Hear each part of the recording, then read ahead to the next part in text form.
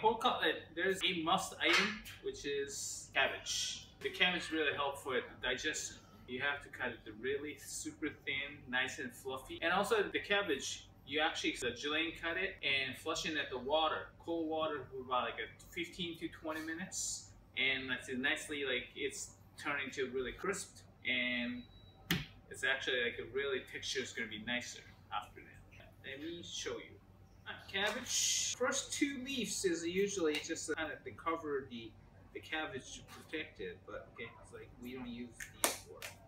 And then, first of all, you're gonna take the heart off.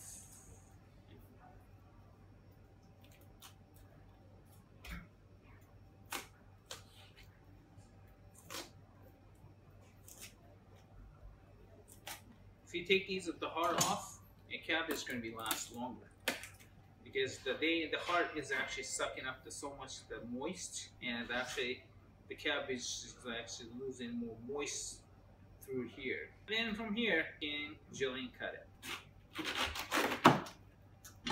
Good cabbage is usually nice and densey, no spacing gap in between the layer by layer. I'll cut it about a quarter. And here's the base part. You can go ahead and get rid of this. And from here, you're going to separate actually the yellowish part and the green part. And then we're going to thin slice it separately. Also, the leaf actually running with it, the fibers. So like you have to go against it to cut. And that's the, how you can keep the good texture and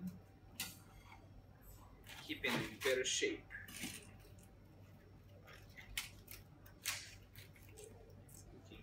Stephanie's. Alright, you can also use it like Western style Japanese knife or either you can use Japanese vegetable knife. It's your preference. You can keep these cutting.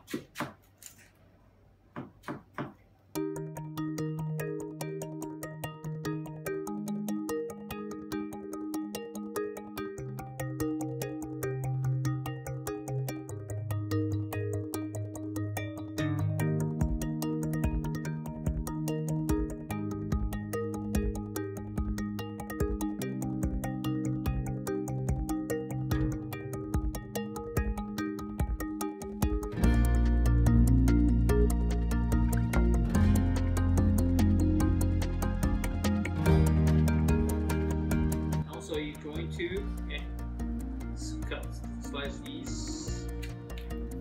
Also, the running at the fiber and you try to go cut against it.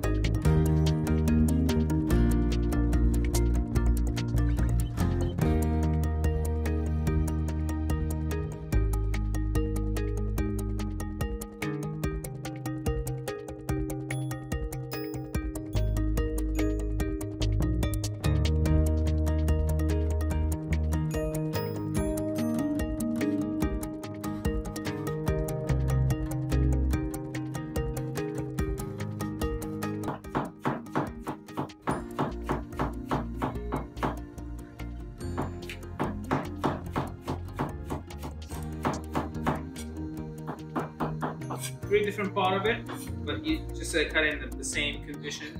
And it's like you're going to okay, flush these in uh, the water uh, at like 20, 15 to 20 minutes.